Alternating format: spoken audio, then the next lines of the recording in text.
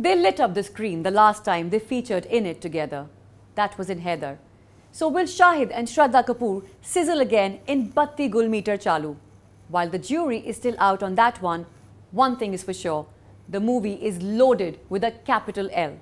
After all, it's got a seasoned movie maker who has tasted both critical and box office success in his past films like Special Chabbis, A Wednesday and Toilet Ek Prem Katha. A socially relevant topic that strongly resonates with the middle class across urban and rural India.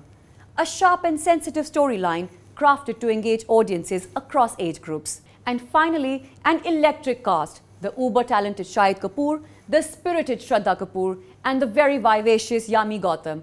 So will the movie turn our Dil Ki Batti on? Keep following us for post-release review. DKODING ka meter rahega chalu. This is me, Preeti Khanuja, signing off. We'll keep bringing to you your daily shots of latest releases, trending buzz and celebrity news from Bollywood. So hit subscribe, press that bell icon and keep following DKODING.